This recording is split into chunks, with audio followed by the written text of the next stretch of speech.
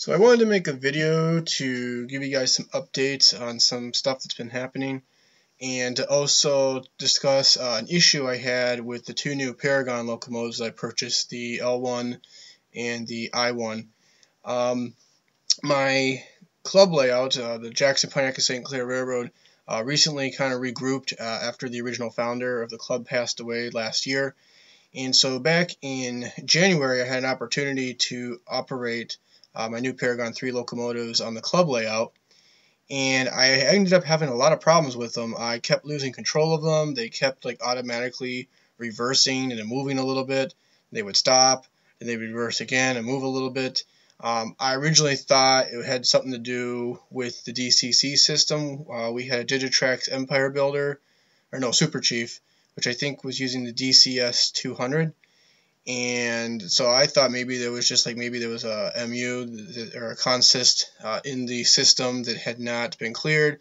So I tried resetting the system, did a whole bunch of things, uh, still didn't fix the problem, uh, which was weird because I have been using these locomotives for about a year now on my home layout, which uses a MRC Prodigy Advance, and I also have a Digitrax Zephyr Extra that I've been using, which is I think the DCS 51 and I had no problems operating these locomotives on either of those systems.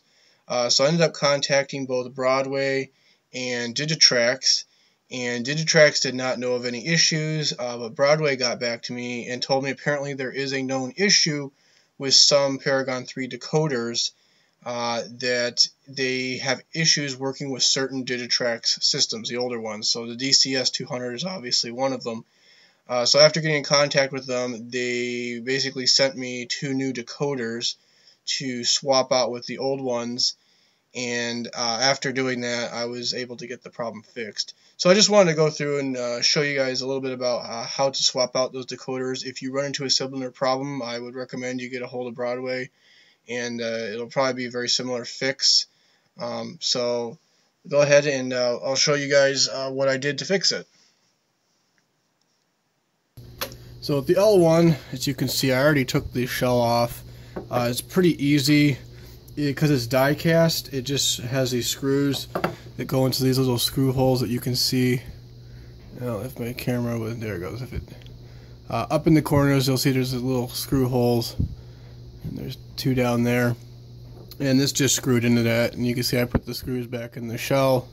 So that was pretty easy, self-explanatory. For the I1SA, it actually has a plastic shell. And so to get to that, first of all, you got to separate tender. Uh, when you pull these wires apart, I always hate doing this, uh, but you want to grasp all the wires and then just slowly, gently rock the engine back and forth until it comes apart. And then that way you don't have to worry about accidentally pulling out any wires. So with this, it's basically a pressed on plastic shell and what I discovered is to pop it off you'll see if my camera will work. Uh, you can see a little bit. There's a little tiny hole up here. Uh, it's not coming in very good on my camera but just believe me there's a little tiny hole here. There's one in each corner kind of like the spot where you could screw on a die cast shell. And what I found is if I pop a little tiny screwdriver through that hole and push out on the edge of the shell, I can then get my finger or another screwdriver down underneath and pop the shell off. a little screwdriver. And I'll just put that up in there and then just gently push down on it. And you'll see it creates a little bit of a gap there. And then what I did is I just took this other screwdriver. So, right, that side.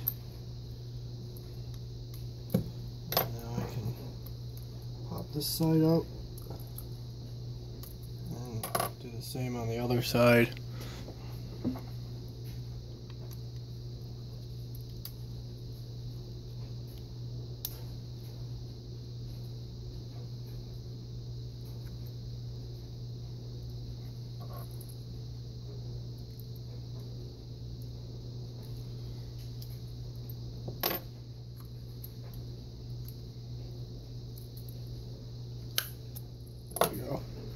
that should have loosened it up. And it pops off. And then when you pop the shell off, and this is with both the die cast and the plastic one, you'll see there's these uh, wire with a little plug that goes to your reverse light. So you'll want to pop that out.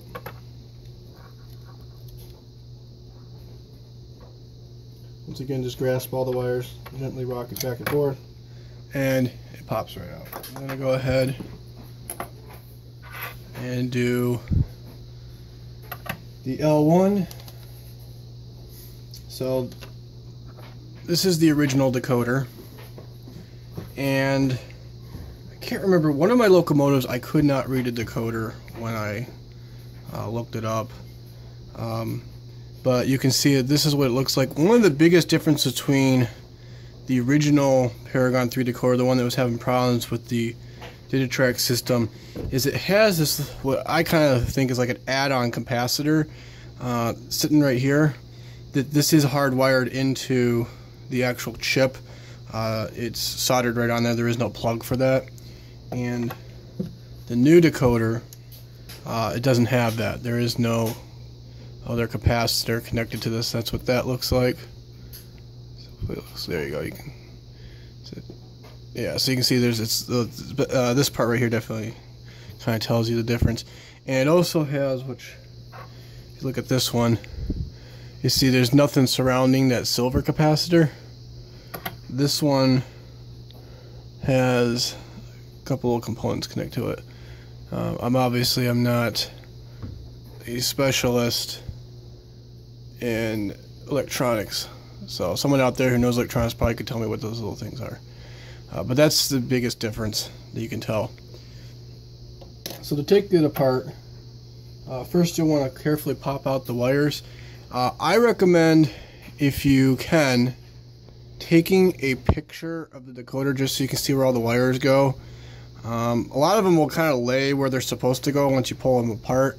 Uh, but that's always a good idea. Just take a picture so you can have an idea of where everything goes before you rip it all apart. So you're just going to pop out uh, all these plugs here. Just like I said, just grasp all the wires carefully, rock back and forth. Never want to yank or force anything. Carefully pull that out.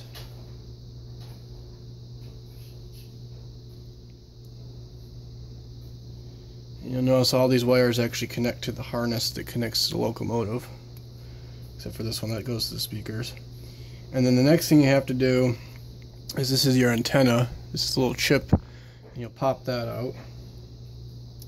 That just slides off. Just goes into that little receptacle right there. And then to take this apart, you just have to unscrew. There's a screw right there, and there's a screw under this wire right there.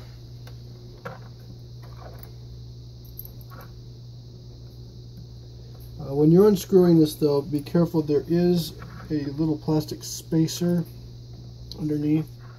And the decoder will come out. You can see it's attached to that capacitor. Like I said you can see it's hardwired right in. So there's a little piece of plastic or not plastic but like sticky tape that holds that in place. Just pop that out. So when you plug this in it's going to go like that. So this is the front of the locomotive here. Here's the wire going to the locomotive. So the capacitor is going to aim towards the front. I always recommend turning your screw counterclockwise at least half a turn until you hear a little click that sets and then then you can start torquing it down. That way make sure you're not stripping the screw and you've got it threaded properly see that that's been reattached. So that's all good. And then the next thing will be to put in the antenna. Now let's find out on the other one uh, I end up having to file off part of the chip because it didn't quite fit in between all these plugs. Let's see if this one fits better. Uh, no, looks like I'm going to have the same problem. So I had this problem before with the other one where this chip, the antenna, is pushing up against the plugs. So I ended up just having to take a little file and file out the side of the chip. Uh, obviously, we want to be very, very careful when doing that because you don't want to damage any of the electrical components. Uh, but I found that um, that seemed to help.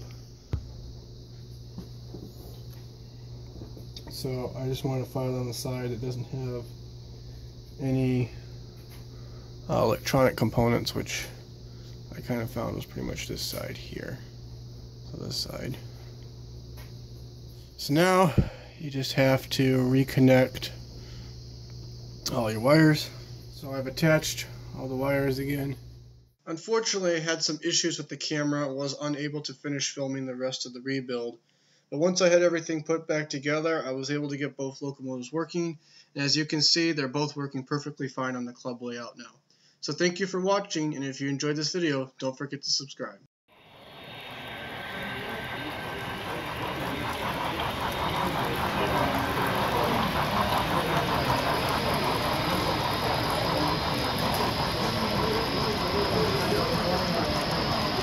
Thank you.